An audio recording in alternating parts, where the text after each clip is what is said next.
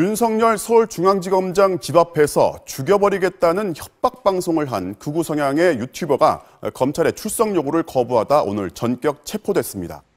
그냥 차량에 가서 그냥 부딪혀 버리죠 뭐. 우리가 어, 자살 특공대로서 너를 죽여버리겠다. 어,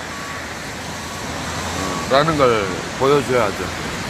박원순 서울시장, 우원식 더불어민주당 의원 등의 집 앞에 찾아가 16차례에 걸쳐 욕설과 막말을 섞은 협박 방송을 해왔습니다.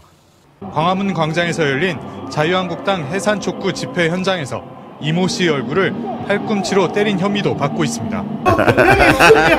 그래도 우파 뒤지는 귀여운 면이 있어. 김상진이가 윤석열을 지키겠다고 칼 들고 다녔다고. 무슨 칼 들고 김건희 씨가, 다니고 김건희 씨가 그렇게 뭐. 얘기했어. 누가? 김건희 씨가. 언제? 어, 녹취록 보내줄게 내가. 목줄 보내봐. 나 근데 왜 그랬어? 칼 들고 왜 다녔대? 몰라. 내가 어떻게 알아. 물어봐 직접. 팩트도 아닌데.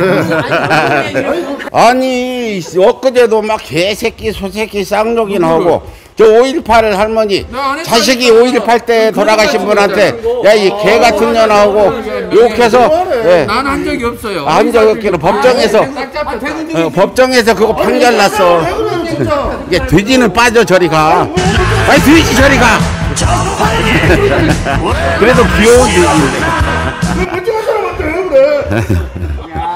자 시청자 여러분 이, 이 법정이 예, 대한민국 검찰이 예, 윤석열을 칼 들고 죽이겠다고 쫓아다닌 김상진이가 예, 윤석열 저 윤석열이가 의자 버스 저기 지하 저기 그 열차 의자에다 발언더니 여기도 어디다 발을 얹어 내려 어, 때렸다. 내려 이거 발 때렸다. 때렸다. 오케이. 오케이. 오케이. 어, 오케이다.